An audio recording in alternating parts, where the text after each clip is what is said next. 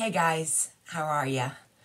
I hope you're all hanging in there and um, had a great Thanksgiving. Um, things have been crazy as usual, and I have been awful with uploading to this channel other than trailers and coming soons and all that. I haven't really done a lot over here, um, and there's a reason for it, and I will get into that, um, and it actually ties to today's topic. Um, I'm to have to do a lot of backtracking to make this make sense. But obviously, we're in the middle of a pandemic. And you guys, most of you know that I had to do some quick thinking when it came to my job and employment and income um, with writing, with Crazy Ink, with alternative streams of revenue, all of that. So, for the past eight months or so, I have been dabbling in freelance work. And wow, it is a whole nother world. Um, anybody that knows me well knows that my actual undergrad is in journalism. And so I am trained as a newspaper reporter. Sounds great. Sounds like that would apply and easily be something I could use as a skill in the world of freelance. Wrong.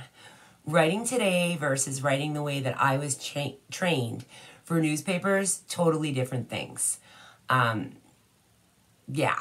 So for eight months, I've been kind of bobbling along, finding my way, making a ton of mistakes in this world of free, freelance writing. And I thought I'd share my thoughts on it. I thought I'd offer some tips. I know a lot of you have asked me, What are you doing? How are you doing this? Where are you finding these jobs? Um, yeah. So I'm going to dive into that. I'm going to talk about what I've been up to as far as freelance writing and other ways to make money with writing than you know, fiction, novels, and books. Obviously, my comfort levels and comfort zone is fiction books. Um, you know, I own a publishing company. I have over 100 solo releases. So when I first thought about getting into writing for various places, and there are several different types of places, um, I thought this would be no big deal. I'll get to finally be just the author, just the writer, and someone else can handle all of the management stuff. Uh, wrong. I think, well, one good thing is I guess it's given me a perspective of what it feels like to be one of my authors. Um, I have slammed with deadlines just like I slam them with deadlines now. And a lot of times that means no sleep in order to meet those deadlines. So let's start with the first job. Um, when I first got into this, I was doing, I don't even know what to call it, but it was mostly like review work for um, a company that I don't really even know what they did. Here's the thing with freelance writing. They don't for overall there was one there's one company right now that I'm working with that's amazing at this, but there isn't a lot of communication. So when you work remotely, um, you know, it's hard because you miss that face-to-face thing you don't get the intimacy that like even at Crazy Ink, yeah, we don't meet in person, but we have groups and have formed a community and network. So you always kind of know who you can go to if you have a question. At the first, we're gonna ignore those docs The first place that I went to work for, there was none of that. Um, they worked through a worked through a system called Slack, which I guess I mean that's it's a program where you should be able to communicate, but at the same time you're only communicating so freely. You know, they have access to anything you're saying to a coworker, so you have to be careful, like what goes in your private messages. It's not like Facebook where you can talk freely with a coworker the way you would on a coffee break on an in-person job. Um, and it was really difficult to get like questions answered. Now, I was fortunate at that first place because one of the authors I work with at Crazy Ink actually was the one who told me about this job, so I could go to her and say, "Hey, I'm lost. I don't know what I'm doing. So that was helpful. But if I didn't have that, I would have felt like so lost. Um, we joke that actual robots run this place. To get an answer takes days. Um, when you do get an answer, it's generally a, a link that says follow the instructions. Your questions about the instructions, so that's not helpful. So it's a lot of kind of do it and do it wrong, be corrected, deal with being corrected, and then you'll learn that way. Um, there's no training whatsoever.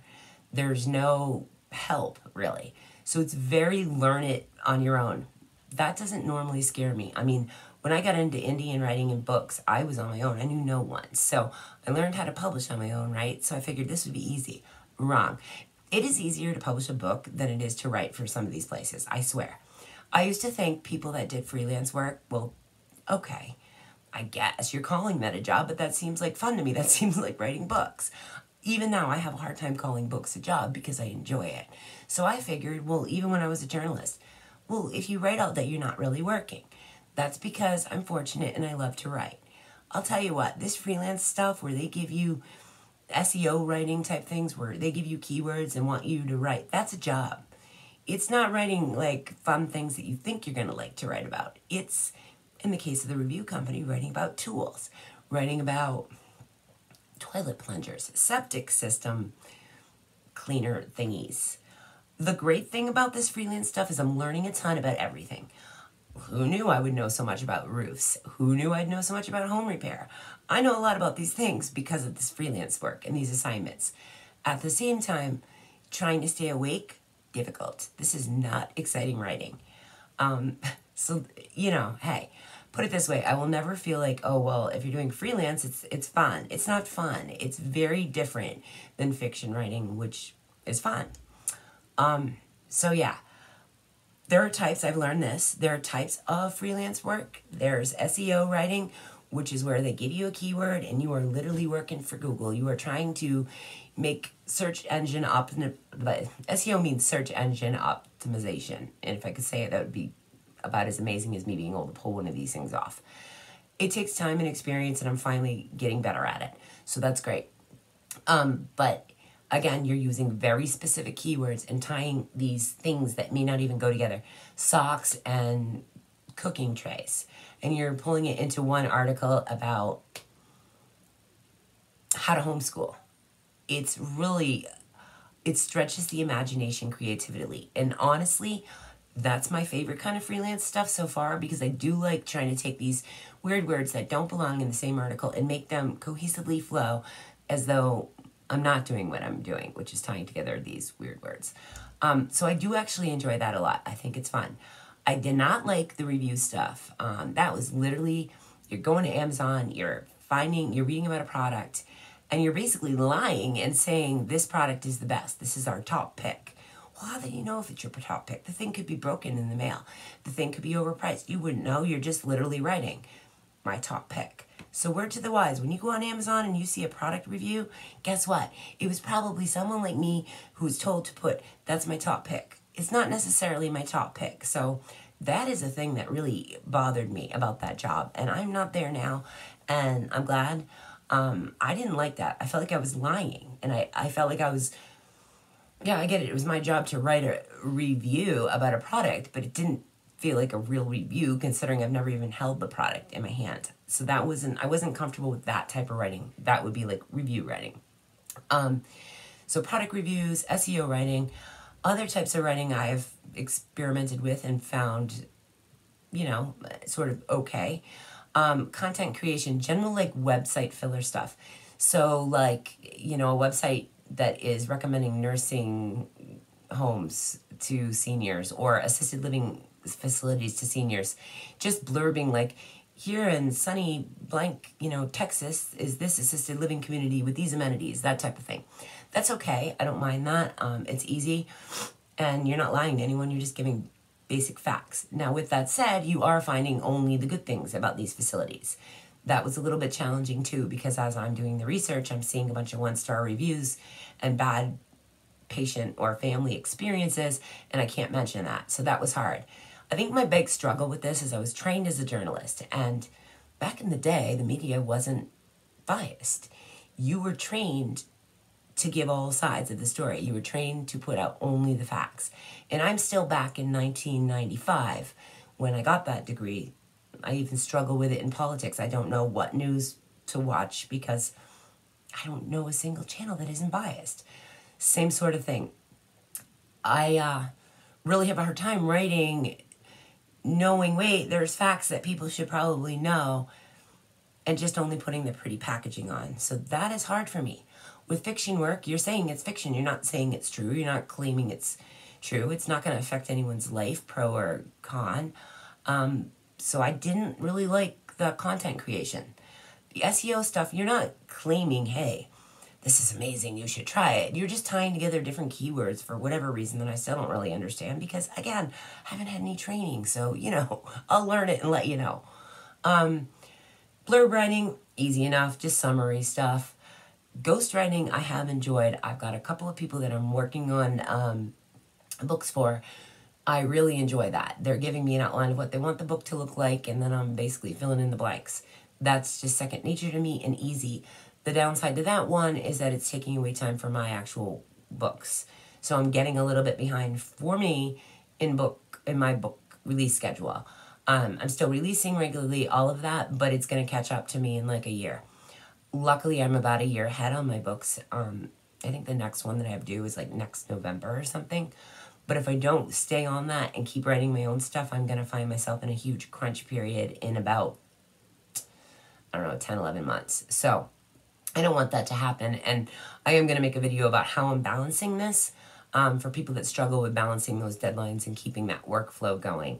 But hey, it is what it is. It's 2020. I'm doing my best. And I don't even know if it's good enough. And honestly, yeah, it's 2020. Just do your best. Get through, survive. So, okay, I guess if I had to put these in order, I'm going to say my favorite is SEO writing. Next would be blurbing. Then content creation. I'm looking, I've got a list over here, so that's what I'm looking at. Um, content creation. Oh, you know what? Ghostwriting would be at the top of all this, but we'll we'll just pretend we put that there. And then very bottom product reviews. I did not like that job. And guess what? I got fired from that job. Isn't that exciting? Erin doesn't get fired. Well, Erin did. Why did Erin get fired? This is a word to the wise. So I have a business account for Crazy Ink because obviously it's business. And I had no clue. No, literally, this was the most innocent thing ever. Now, they will call me some kind of scam person, but this was so innocent. This is just how dumb I am. I did not realize that because I have a shop based all and connected to my business account on Amazon, that it is tied to some kind of affiliate code. Never knew. I don't even believe in affiliate codes. Never knew this was a thing. Apparently, never gotten a check for it. Never knew. Never, no clue.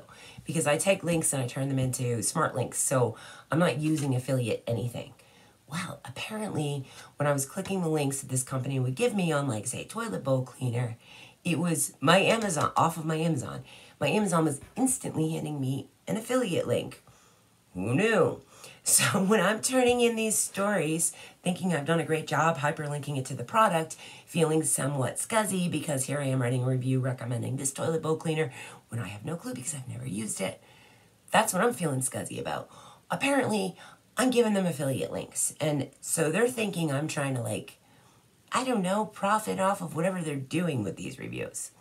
The good news is those links never went out into the world because they found them, promptly fired me, told me to go scam someone else. As okay, I haven't made a dime off of it. And if you had just come to me and told me, I would have fixed them all myself. But you know what? It worked out okay. I don't get fired, got fired.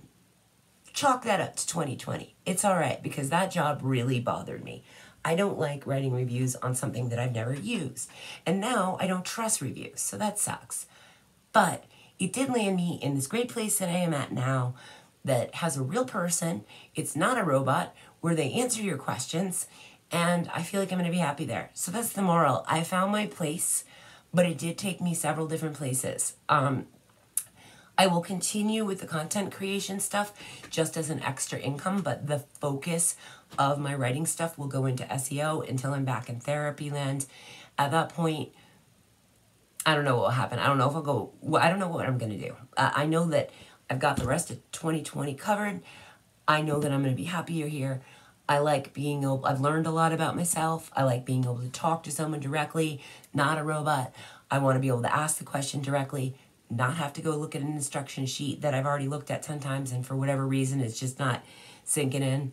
So it was good in a, lot of ways. It taught me, hey, these authors need you there so they can ask you directly, whether it's in a group or in a PM.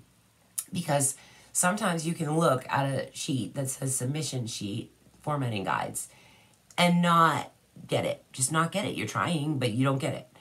Um, so it gave me more patience with the authors, gave me more appreciation for the type of writing we do off in indie. Um, it's nice to be able to just be creative and write what you want and not to have to tie weird words together. At the same time, I love the challenge of the SEO stuff, and I do think I'm going to enjoy it. So that's where I'm at. Um, goods, bads, glad I'm out of the review place. Got a book out of it. Actually wrote a book called Flowers for Meg about that experience. It's coming soon. It's a horror book. So I always see the silver lining. I found it there. It has been a hell of a ride. 2020 has had me trying all sorts of things. It's questioned everything I know about journalism and the way I was trained. Um, it's made me realize the importance of technology and keeping up with it. I've got another issue that others don't have, which is barriers to my ability with Google Drive and OneDrive um, because of firewalls for therapy. That's been a challenge. It finally came down to, you know what, I'm going to get other devices. Therapy computers with firewalls, freelance work computers without them. And that's working out well now, but it has been a challenge for a, long time now, over a year. So you learn these things as you go. Um, this video is getting long. I'm going to quickly just talk about where you find these jobs because that's another question I've been asked. Um, if you guys don't care about that, then peace out now. If you do care, here we go. So I started initially, well, I went to multiple friends. I mean, obviously, 90% of my friends are authors or writers. So a lot of them do this anyway. And I went to them and got a mix of answers as to where they find their freelance jobs. Some find it on, I want to call it fervor. I don't know how to say these words out loud. I just know what they look like. Um, a lot of them found them on Upwork, um, many different places. LinkedIn, Indeed, um, Crowd Content, there are many different places where you can find these jobs. Um, the way I did it after all of the, you know, going around and asking author friends is I basically touched base with two of them. Like I said, on a couple of these, I had a direct contact that said, hey, they're hiring over here. This is where I work. It's a good experience. They pay, blah, blah, blah. I got jobs through actual friends. So ask around, network. That's why we network, right? It's not just always book world. It could be something like this. Hey, it's a pandemic. I have no work. I don't want to starve to death. And do you know where I can get freelance stuff remotely? So I did that, and that's where I got this one that I'm super excited about um, that actually is working, and I don't have to lie. So I did get it that way, but it took me months.